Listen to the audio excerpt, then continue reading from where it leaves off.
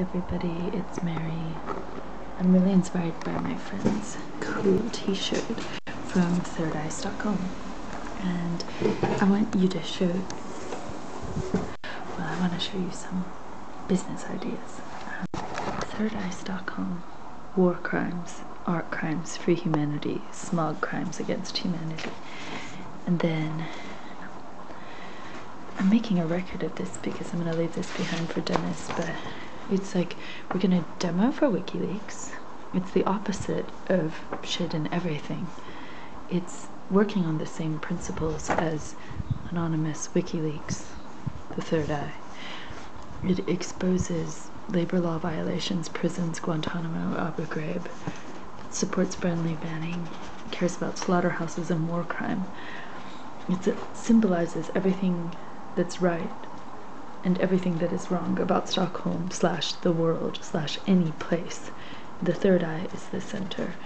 And helping us would be Gabrielling Photography, Brain Garbage, Third Eye Stockholm Free Humanity in some alliance.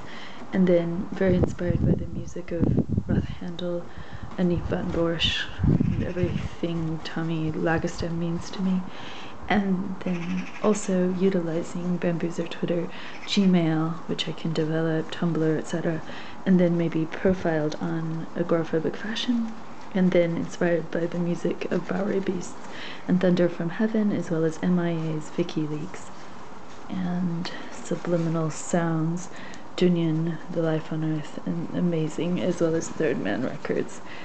And um, big shout out to Georgie at WikiLeaks Central for writing us back because we are here for you in Stockholm. WikiLeaks, we care about you. And this is Denise Tarhan, originator of the Third Eye Company. The Third Eye is enlightenment. We are students of corruption, and that's why we need WikiLeaks.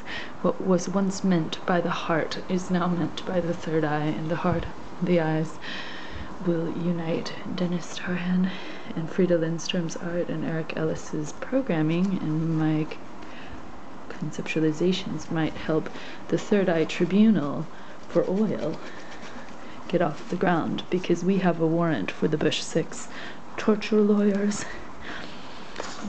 And we have a warrant for Obama for protecting war crimes, for perpetrating war crimes and eco crimes, ecocide and murder against the people of Iraq. Petroleum presents Third Eye Stockholm. We wouldn't exist without petroleum. And we are cyborgs and capable of communicating without our various technologies. And we love petroleum. Petroleum loves us. We are petroleum.